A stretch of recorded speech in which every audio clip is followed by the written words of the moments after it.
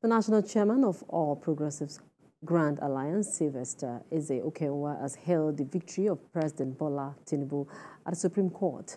Mr. Ezeokenwa said the Supreme Court's verdict on the petitions filed against Tinubu by the presidential candidate of the People's Democratic Party, Atiku Abubakar, and his Labour Party counterpart, Peter Obi, showed that President Tinubu won the February 25, 2023 presidential elections.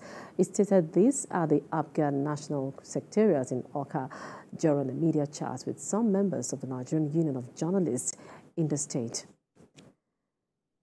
In the same manner, elder statesman Abimbola Aboderin has congratulated President Bola Tinubu on his victory at the Supreme Court.